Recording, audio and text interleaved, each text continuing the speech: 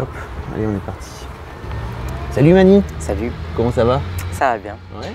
On a un super partenariat qui arrive pour la sortie de ton album sur Mademoiselle. Il paraît, ouais. On a déjà fait une, euh, de la musique. Alors maintenant, c'est l'occasion de, de te découvrir un peu plus. Je ne suis pas une fille de musicien, je suis une fille de militaire. Ouais. Et je suis pas du tout grandi dans un milieu musical, euh, j'ai plutôt grandi dans un milieu rigide, strict.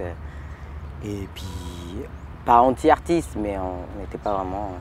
T'as fait l'école militaire, c'est ça? J'ai fait l'école militaire euh, au collège, Ça plaisantait pas? Ça plaisantait pas du tout. Mais on a quand même bien rigolé euh, là-bas, mais ça, ça plaisantait pas du tout. Ouais. Ouais. Ça doit être euh, quelque chose.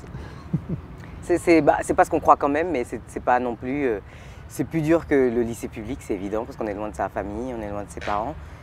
Mais c'est. En même temps, il y a d'autres valeurs qu'on nous inculque et qu'on on n'a pas forcément dans le public. Quoi par exemple? Bah, par exemple, euh, la solidarité des copines, euh, euh, par exemple, il y a une espèce de rigueur. Il faut que le lit soit fait au carré tous les matins, il faut que la, chambre soit nickel tous les matins. Il y a le lever du drapeau, il faut apprendre les chants militaires, la Marseillaise. et puis aussi, on est bien encadré. Le soir, on a des, des, cours particuliers. Enfin, il y a vraiment une. Puis surtout l'amour entre les filles, quoi. Ça crée vraiment des liens. C'est une autre famille qu'on se crée. On n'a pas le choix, en fait. Tu fais toujours ton lit au carré ou pas? Pas du tout. Déjà, j'ai une couette, donc c'est plus du tout nécessaire. Le modernisme euh, m'a sauvé. Je suis euh, super bordélique. Ça m'a, ça m'a pas du tout servi.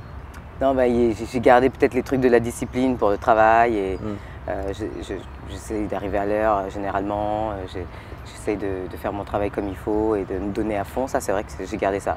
Après, tout ce qui est dans la forme, faire mon lit au carré, j'avoue que devant un drapeau français, je ne m'arrête pas la larme à l'œil non plus.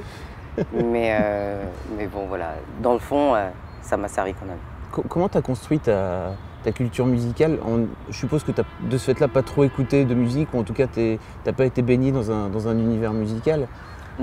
Euh, Tu t'es construit par toi-même, c'est ça Je me suis construit par moi-même, par euh, les gens que j'ai rencontrés, euh, l'école. Voilà, quand j'étais en internat, euh, je me rappelle, j'ai eu ma grosse période Nirvana parce que bah, les filles de ma chambre, elles écoutaient Nirvana. Donc euh, moi, je savais même pas qui c'était Kurt Cobain, mais je voyais que le type, il me touchait d'une manière ou d'une autre. On connaissait par cœur, on savait même pas ce qu'on disait. Et euh, voilà, donc au fur et à mesure, en avançant, il y a quelque chose qui m'attirait et, je l'ai gardé. Donc c'est pour ça que j'ai, euh, comment une culture plutôt éclectique en fait. J'ai pas été corrompu par, par, mes parents ou par qui que ce soit en fait. C'est plus par, chemin. Et il y a des choses que j'aimais, des choses que j'aimais pas. voilà. J'ai vu que tu que imitais Whitney Houston dans ta, dans Alors, ta bio. J'ai- Oui, je fermais les yeux et je m'imaginais chanter euh, Bodyguard euh, avec ma brosse à cheveux. Et, et puis, euh, et puis c'est tout. En fait, mes rêves de chanteuse, ils s'arrêtaient là parce que pour moi, c'était pour les autres en fait. Ouais, c'est ça. Et Ouais. ce qui est assez drôle, c'est que tu as, démarré une carrière de mannequin Par hasard. par hasard, Ouais. c'est ça. Comment on démarre une carrière de mannequin par hasard? En fait, euh, c'est plus souvent qu'on le croit. Il y a un tas de filles qui se sont fait repérer dans la rue et moi, c'était dans le métro. Donc, euh, je ne sais plus où j'allais, mais je me suis fait repérer. C'était pour un- une sorte d'émission à l'époque, euh, un truc télé-réalité, je sais pas quoi. Ben, ils m'ont pas gardé, mais l'agence m'a voulu. Et voilà, c'est comme ça que j'ai commencé alors que j'étais au lycée. Au départ, c'est juste pour un petit boulot. Je me dis, ça va durer un an, deux ans, ou ça va durer tant que ça faut, qu'il faut, pardon, et je serai à la fac entre temps.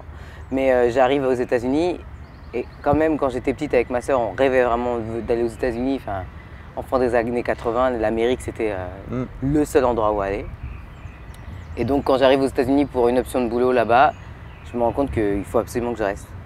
Et euh, donc, je reste, enfin, je reste trois semaines et je me dis, tiens, il faut absolument que je trouve une agence euh, sur place pour pouvoir rester. Et au départ, je dis à mes parents, oui, je vais prendre une année sabbatique, je suis à la fac déjà.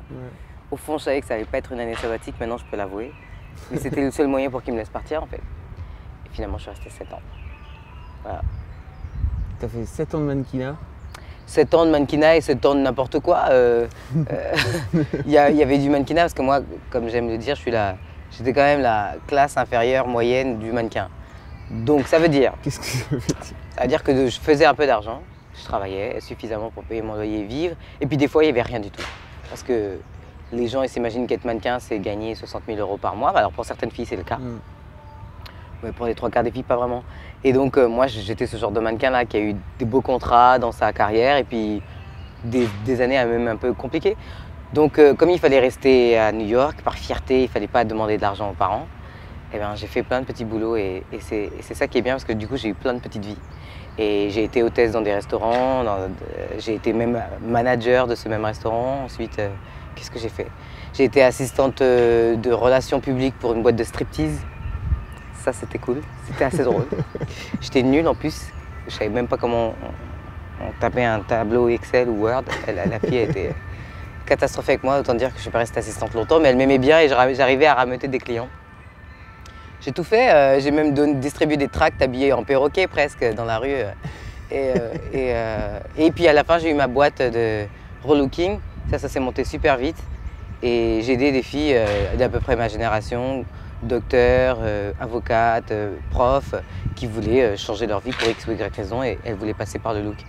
Et donc, par des copines, par du réseau aussi, ça s'est fait super vite. Et c'est grâce à ça que j'ai réussi à, réussi à, à- à financer ma musique là-bas. Donc je me suis toujours un peu débrouillé. Quoi. Et en fait, tu, pendant ce temps-là, en fait, tu continuais à écrire, c'est ça? T'avais Bah, ça s'est pas passé comme ça, mais Ouais. c'est vrai que à partir du moment où je commence à me dire tiens, je ferais peut-être de la musique, et ben, les choses se déroulent assez facilement. Je rencontre des gens, euh, je prends des cours de théâtre aussi, parce que je me dis tiens, ça peut m'aider pour la mode. Et là, je vois qu'ils ont un- une division comédie musicale, donc je m'y inscris. Et ah, je me dis ah, tiens, euh, euh, on peut allier les deux. Et je prends des cours de, de chant aussi, tout doucement en fait. Comme j'avais pas vraiment confiance en moi, j'ai fait les choses tout doucement. D'abord, j'ai pris des cours de chant pour me sentir plus à l'aise et moins, moins à côté de la plaque en fait. Et puis après, j'ai rencontré des gens.